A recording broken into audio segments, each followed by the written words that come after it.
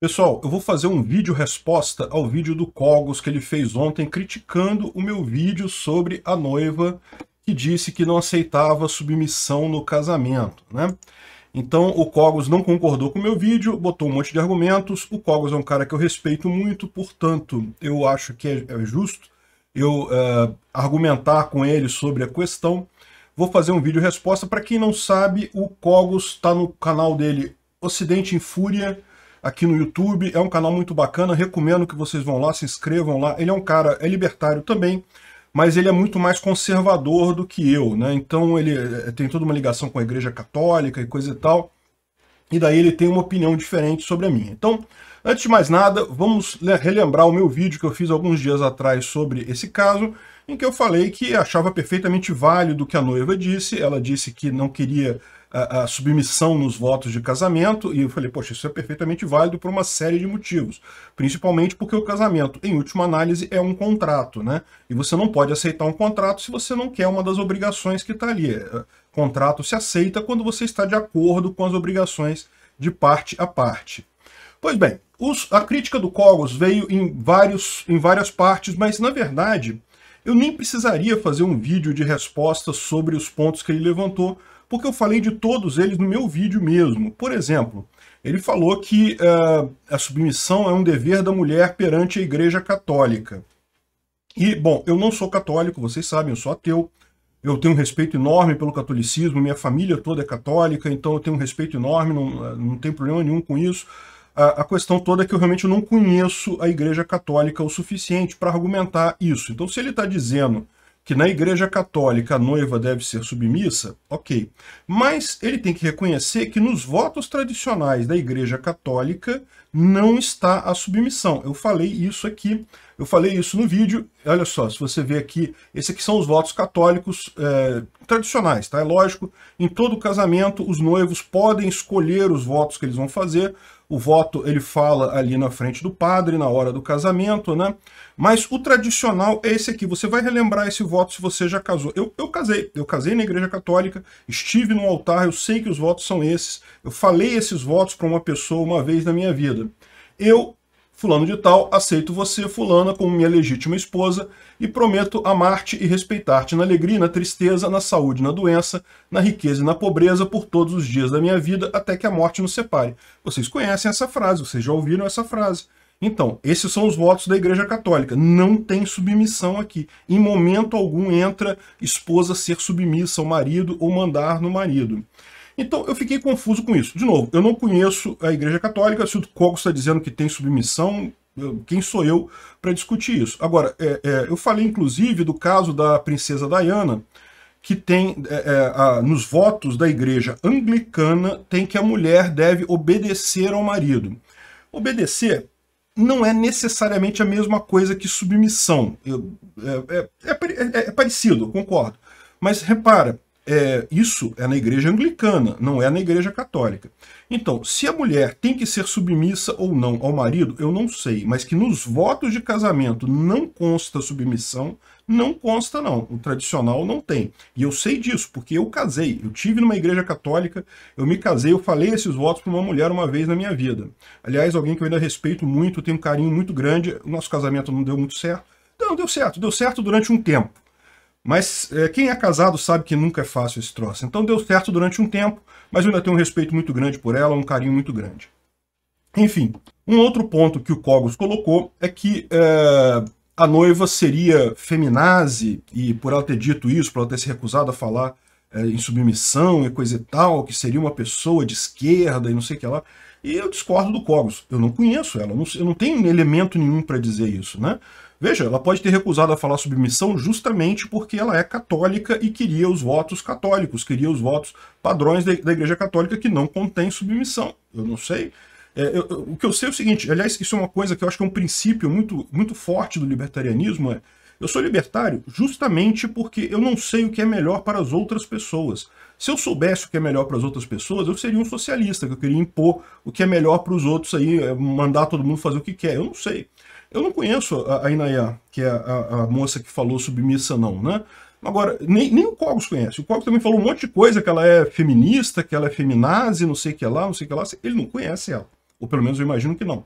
O fato é, não dá para você imaginar como, como é a, a, a forma ou a, a, visão política de uma pessoa apenas por uma frase, um, um evento, não dá para saber isso, né? E veja, entre eu e o Cogos, sabe quem é que sabe mais sobre a mulher? É o noivo dela, e o noivo dela disse sim lá no altar. Então, ou seja, meu amigo, ele está de acordo com isso. O que, quem sou eu, quem é o Cogos para falar alguma coisa sobre esse casamento? O cara aceitou, pô. Os, dois, os dois aceitaram. Poxa, é, não tem nada de errado nisso. Veja, se ele acha que a mulher deve ser submissa ao homem na igreja católica, bom, isso é um negócio de igreja católica, isso daí eu não posso argumentar. É, agora, o que eu sei é, é, submissão, meu amigo, pode ser uma coisa se você quiser ser submisso, a sua, se é seu desejo, se é seu tipo, se você gosta disso, não tem problema nenhum. Mas sempre tem que ser voluntário, tem que ser alguma coisa que a pessoa esteja confortável com aquilo. Isso é verdade. E, e outro ponto que o Cogos falou, e de novo, isso eu já tinha falado no meu vídeo, não precisava nem fazer um vídeo resposta, porque era só ver meu vídeo de novo para ver que estava a resposta lá. Ele falou que uh, Contrato, casamento não é, é, não é só um contrato, é um negócio espiritual, é o noivo, a noiva e, e Deus, ou o noivo e Jesus Cristo, eu não sei. Enfim, e, e, eu deixei claro no meu vídeo também, eu falei, olha só, quando eu falo que casamento é um contrato, eu quero dizer que casamento é um contrato além de outras coisas. Né? É lógico que o casamento é mais do que um contrato para muita gente, é, mas é, no mínimo é um contrato. Um casamento contém um contrato, que é justamente as partes aceitarem. O que, que é um contrato em direito? Um contrato em direito é justamente um termo, um, um documento ou um conjunto de, de, obrigações de parte a parte que uh, as duas pessoas aceitam que, e cumprir. Então vai ter lá, obrigação de fulano é isso, isso, isso isso, obrigação de cicrano é isso, isso, isso isso. Os dois assinam de forma livre e, e, e espontânea, sem pressão, sem forçar, sem ser forçado, na, no pleno gozo de suas capacidades mentais, os dois aceitam aquilo ali, isso é um contrato. Então, ah, o casamento tem tá, toda uma parte espiritual, coisa. Eu falei isso no vídeo, tem, tem, eu entendo que tem. Mas em última análise, do ponto de vista civil, ele é um contrato, em última análise. Então, Evidentemente que você não pode aceitar um contrato se tiver cláusulas que você não aceita. É, é, não, você não pode virar num contrato e falar, não, eu assino esse contrato aqui, mas essa cláusula aqui eu não quero, não. Primeiro você tem que negociar com outra parte, outra parte tem que estar de acordo também. No caso lá da Inaiá, é, é, veja, o contrato é outra coisa, votos de casamento é só uma formalidade, não é, na verdade, não, não implica em nada, não quer dizer nada na prática. Mas é, é, o que ela falou foi justamente o que ela aceitava e não aceitava no casamento. O noivo está de acordo, estão ambos de acordo ali, ambos aceitaram essas cláusulas. Poxa, pronto, resolvido o problema. Bom, uh, o grande problema, então, assim, é, de novo, eu não, não, entendo de igreja católica o suficiente para entrar no debate com o Cogos. O que eu entendo é o que eu falei aqui. É, eu acho que não tem lógica supor que a menina seja A ou B ou C ou D. É, a gente não sabe, eu não conheço ela, né? enfim.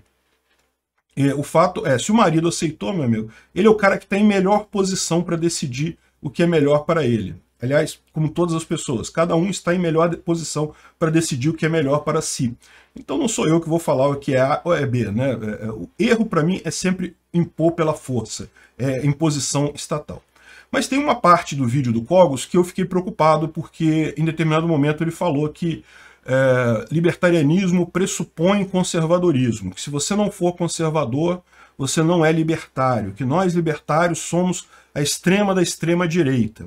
E este ponto particularmente é, não tem nada a ver com o vídeo, eu né, nem menciono isso no vídeo lá da, da moça, é, o ponto é que eu discordo frontalmente do Cogos nisso daí.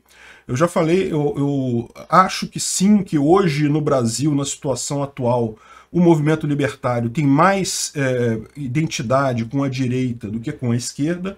Eu concordo com esse ponto, a esquerda brasileira é extremamente socialista, é extremamente controladora, mas isso não quer dizer que isso seja uma verdade absoluta, que o, o libertarianismo tenha que estar ligado com o conservadorismo.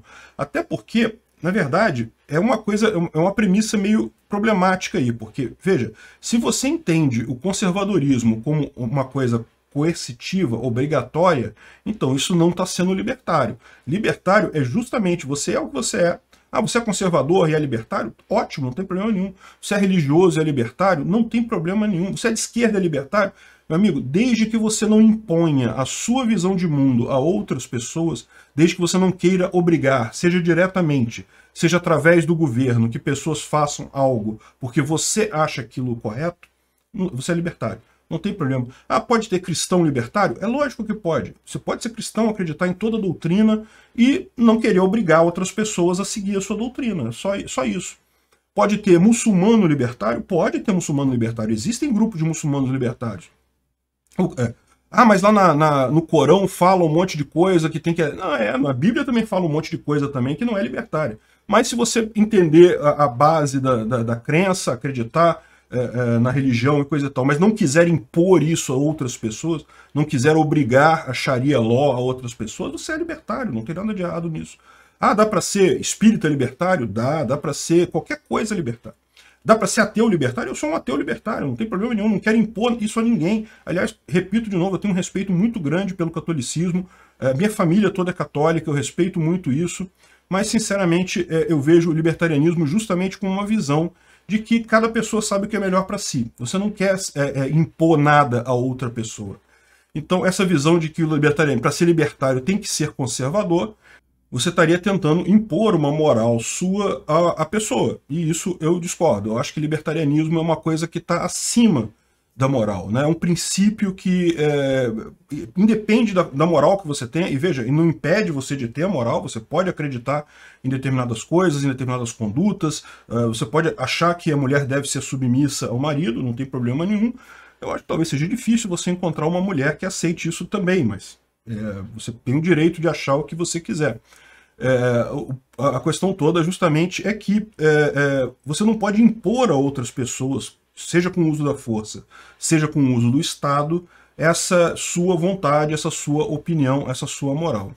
Mas fora isso, eu acho que foi um desentendimento aí saudável, eu respeito muito o Cogos, eu entendo a posição dele, eu vejo que é uma visão realmente mais de direita, mais, de, mais conservadora realmente sobre libertarianismo, acho que isso não é errado, errado é você condicionar o libertarianismo a esse tipo de coisa, isso eu discordo. Mas não deixem de ir lá no canal do Cogos, no Ocidente em Fúria, é, ver esse vídeo, tirem as conclusões suas, o que vocês acham do que ele falou lá. Eu vou deixar o link do vídeo na descrição deste.